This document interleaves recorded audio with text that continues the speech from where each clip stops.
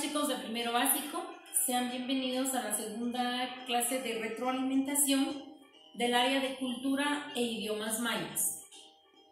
El tema que venimos trabajando es eh, las ideas principales y secundarias de un tema o de un texto. ¿Cómo debemos de extraer las ideas principales de un texto? Bien, para hacerlo debemos hacer uso de la lectura comprensiva.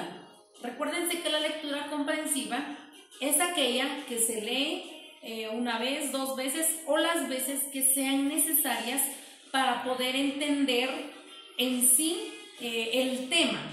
Entonces, cuando nosotros entendemos bien el tema, ahí entonces ya podemos extraer la idea principal y poderla resumir en una frase o en una oración. La idea principal de un tema se divide en dos, implícita y explícita. Bien, la idea explícita es aquella que ya trae el texto, ya viene especificando, bien sea al inicio o al final de la lectura, más o menos como una pequeña conclusión.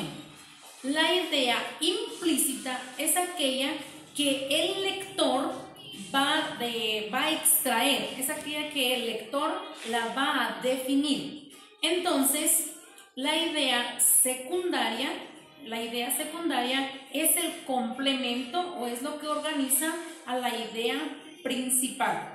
Bien chicos, espero que la pequeña explicación que les he dado pues les sirva eh, de apoyo para poder realizar las tareas que se les ha asignado.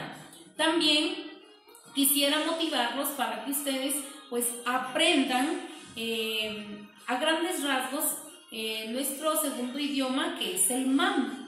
Entonces, para ello les he dejado una tarea, así es de que por favor apréndanse la canción eh, que de la clase anterior que se les pudo haber asignado.